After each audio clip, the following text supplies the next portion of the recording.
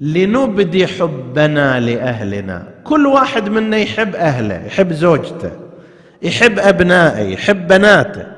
ولكن الإبداء مطلوب. لذلك عندنا في الرواية عن الإمام الصادق عليه السلام قول الرجل لزوجته إني أحبك لا يذهب من قلبها ابدا. إذا تقول إلى زوجتك إلى زوجتك أنا أحبك. أنت أعطيتي طعم إلى حياتي. أنت لونت حياتي بألوان بهيجة.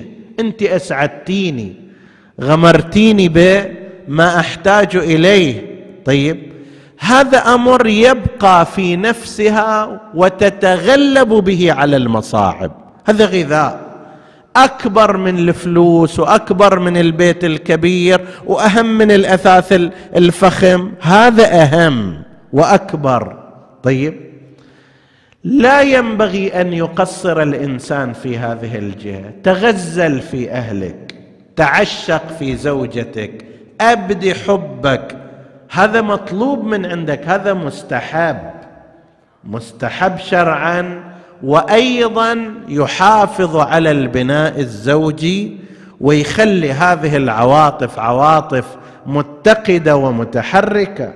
طيب قسم من الناس يقول يعني أنا على ليش عجل أروح من الصبح العمل من الساعة ست داق سلف ورايح لو ما أحبهم كانت ما يخالف تسوي هذا جزاك الله خير. لكن قول هذا الحكي اسمع هذا الكلام أحيان كثيرة. الآن لو واحد أراد أن يصلي يقول أنا أعتقد الله أكبر.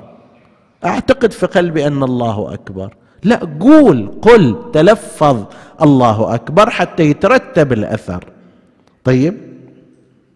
في بعض الأماكن يكفي النية ولكن يستحب لك أن تقول كما هو في نيات الحج مثلا بلغكم الله وإيانا.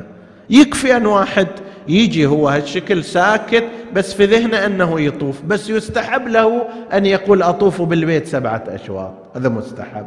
في الحياة الزوجية مستحب مؤكد أن تقول لزوجتك أنا أحبك أرتاح إلك يعجبني فيك فلان كذا فلان موضوع إلى غير ذلك.